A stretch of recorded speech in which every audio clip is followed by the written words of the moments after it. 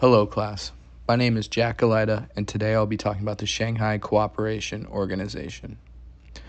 This is comprised of eight member nations China, Kazakhstan, Kyrgyzstan, Russia, Tajikistan, India, Pakistan, and Uzbekistan. It was formed in 2001, and its predecessor, the Shanghai Five, consisted of five of these nations.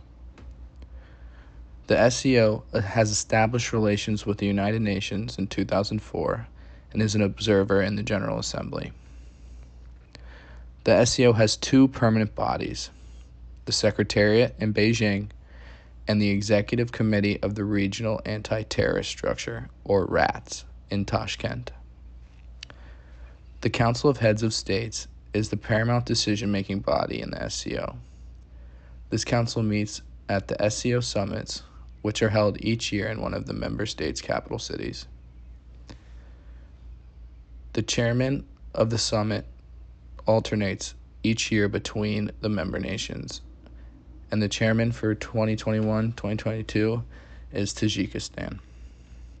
The official working languages of the Shanghai Cooperation Organization are Chinese and Russian. And along with the eight member nations, there are six dialogue partners who do not have any voting powers but are considered in the matters. These states are Armenia, Azerbaijan, Cambodia, Nepal, Sri Lanka, and Turkey. And this is a security alliance, but it is not a military alliance. The Secretariat of the SCO is a primary executive body of the organization and coordinates the activity of the SCO and provides informational, analytical, legal, organizational, and technical support. Summits of the Council of the Heads of State are held annually at alternating venues depending on who is the summit chairman.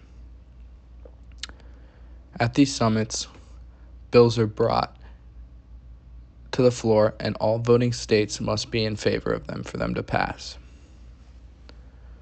To become a member of the Shanghai Cooperation Organization, states in the Eurasian territory must apply to be an observer nation first. After the observer period is complete, then the state can apply for full membership. Nations must be committed to the problems presented by the SCO and cannot have conflict with any of the current member states. When it was initially enacted as the Shanghai Five, its goal was to ensure security and maintain stability across the vast Eurasian region. But as the organization has grown, its problems mainly concern security related concerns, resolving border issues, military cooperation, intelligence sharing, countering terrorism, and countering American influence in Central Asia. When we look at the effectiveness in align with the SCO's goals, we can see that stability has been achieved through the SCO, especially in border security and terrorist uprising. Another one of their goals which has been achieved was a decline in influence from Western threats. Many see the Shanghai Cooperation Organization as an Eastern NATO. However, its focus is on internal threats, which is ineffective when it comes to foreign policy.